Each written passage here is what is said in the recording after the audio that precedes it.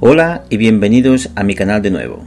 Como es sabido, al querer comprar un portátil de la casa Apple, se nos presenta el dilema de escoger la capacidad de la memoria interna, ya que si queréis comprar un MacBook Pro o por ejemplo un MacBook Air con una memoria interna SSD más amplia que la que nos viene de base, pongamos por ejemplo de 1, 2 o 4 terabytes, entonces el precio del ordenador, como se puede apreciar en su web, se incrementa significativamente.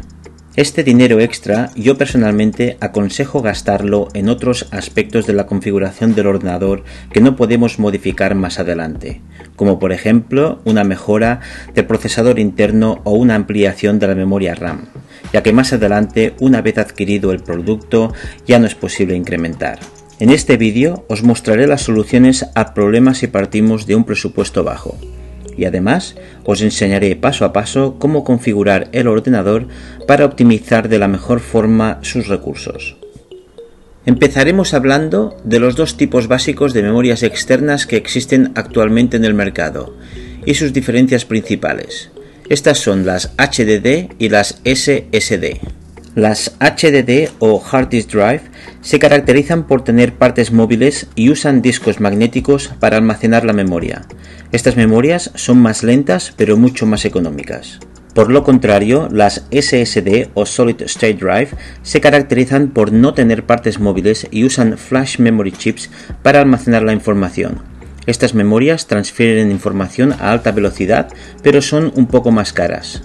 Vistos muy rápidamente los dos tipos de memoria externa disponibles, decidir entre una u otra dependerá de vosotros, de vuestras preferencias, vuestras necesidades y vuestro bolsillo, pero en líneas generales realizarán la misma función más o menos rápido. Yo utilizo la memoria interna SSD solo para el sistema operativo más todos los programas que tengo instalados en el ordenador, ya que así funciona de manera más rápida y efectiva. Todo lo que son vídeos, fotos, archivos, copias de seguridad, Time Machine, etc. está almacenado en memorias externas. Lo primero que tenemos que hacer es poner un disco externo con una capacidad suficiente para albergar toda la biblioteca de fotos. Luego vamos a utilidades de disco y aquí apretamos Enter. Lo que vamos a hacer es formatear este disco duro. Es este de aquí lo seleccionamos, ponemos borrar, pondremos a librería, fotos y borrar. Y una vez acabado el proceso de borrado, apretamos aceptar, lo ha hecho correctamente y ya está listo. A efectos de demostración yo solo he cogido un disco de 8 GB, pero vosotros tendríais que coger uno como mínimo de 1 TB o 2, depende el volumen de vuestra librería de fotos. Una vez pues formateado el disco, salimos de utilidades de disco y ya tenemos nuestro disco eh, externo listo para guardar las fotos. Vamos a ver ahora cómo sincronizar nuestra librería de fotos con la memoria externa y así poder liberar todo este espacio en nuestro ordenador. Empezaremos yendo a Finder en Finder yo he creado una librería solo a efectos de demostración de este ejercicio.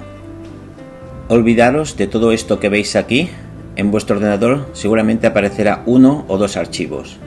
Lo que hacemos es abrir el disco duro externo y copiamos este archivo aquí. Una vez copiado, hay que decirle al ordenador que ahora vaya a buscar las fotos aquí y no aquí, ya que si abrimos fotos podemos ver en preferencias que la raíz está en el disco duro del ordenador. Salimos de aquí otra vez y es en este punto que llegamos al momento más importante de todo el proceso. Nos vamos al icono de fotos, mantenemos pulsado el botón de Option y clicamos. Una vez clicado, aparece este cuadro de diálogo. Lo que tenemos que hacer ahora es ir a otra fototeca. Seleccionamos y es ahora que en vez de dirigirlo a la librería actual, vamos al disco duro. Seleccionamos Seleccionamos y abrimos. Ahora está haciendo todo el proceso de pasar todas las fotos del disco duro al disco externo. Obviamente yo con tantas pocas fotos aquí lo he hecho súper rápido, pero en vuestro caso tardará mucho y muchísimo tiempo, depende el volumen de fotos que tengáis. Vamos a fotos, vamos a preferencias y como podéis ver ahora coge de el disco duro toda la librería de fotos. A continuación lo que podríais hacer es borrar esta librería de vuestro disco duro porque ya no se necesita y así liberáis todo el espacio del disco duro interno. Eliminar y ya lo tenéis todo traspasado. Tenéis que estar muy seguros a la hora de hacer este proceso, ya que si lo habéis hecho mal perderíais todas las fotos. O sea que os aconsejo que antes hagáis una copia de seguridad. En el futuro cada vez que descarguéis más fotos en vuestra librería, se añadirán directamente al disco duro externo y no al disco duro interno.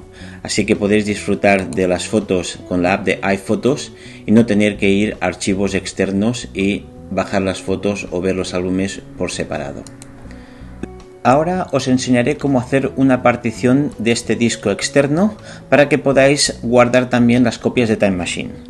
Vamos a utilidades de disco, apretamos y seleccionamos otra vez el disco externo, este de aquí, librería de fotos, como ahora podéis ver, este es el disco. Y aquí pone crear partición. Lo seleccionamos. Aquí lo que hay que hacer es delimitar ahora el espacio para la librería de fotos y para Time Machine.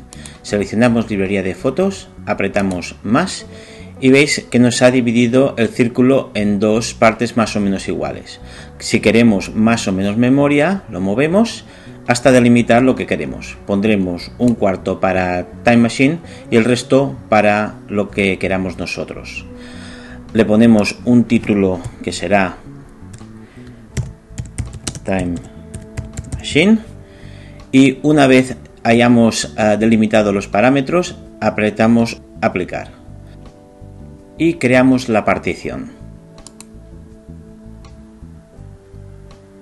Está ejecutando el proceso y nos ha realizado la operación correctamente. Como podéis ver, ha creado otro archivo o otro un, subarchivo del disco que está delimitado como Time Machine y el otro como la librería de fotos. Por lo tanto, tenemos la partición bien hecha. Aquí también se puede observar.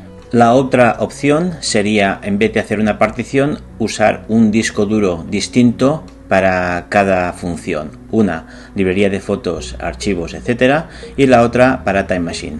Para usar este disco externo para hacer las copias de Time Machine, lo que haremos es ir a preferencias del sistema, lo abriremos y aquí pone Time Machine, seleccionamos y aparece este cuadro. Otra manera de ir sería aquí seguramente tenéis un, un reloj, lo apretáis, abrir panel y también vamos al mismo sitio. Una vez aquí, simplemente apretamos seleccionar disco y no aparece este por la sencilla razón de que solo tiene 3 GB de memoria y requiere 251 o un poquito menos. Y por esta razón no aparece como opción de discos disponibles, pero tendría que aparecer aquí. Una vez estuviese aquí, la seleccionamos y ponemos usar disco y ya está, ya haría uh, la copia de seguridad en el disco externo. Todas estas copias de seguridad en discos externos nos liberan de una cantidad de memoria increíble que ocuparía de otra forma nuestro disco interno. Así que es una muy buena manera de liberarlo y no tenemos que tener de fábrica un disco interno con una capacidad tan grande que además sería muy costoso. Hasta aquí el vídeo de hoy, espero que os haya gustado y os sea de utilidad. Si lo creéis oportuno suscribiros a mi canal y nos vemos en un próximo vídeo.